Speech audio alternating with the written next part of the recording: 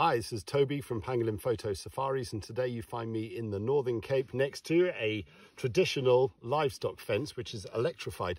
Now the reason we're here today is we're meeting with farmers and fence installers to figure out a way to make this fence more pangolin friendly and also not just pangolins it must be said also tortoises uh, snakes other reptiles chameleons that sort of thing. But the big problem with pangolins is they tend to walk along on their back legs with their front legs curled up. And as they come along they hit this live wire. And when they do so they curl over and when they're here they continuously get shocked and that's when they can lead to their mortality so it's estimated about a thousand pangolins die on these fences every year so what we're trying to do is trying to make these more pangolin friendly so we're here to engage with the farmers and the fence installers to do so.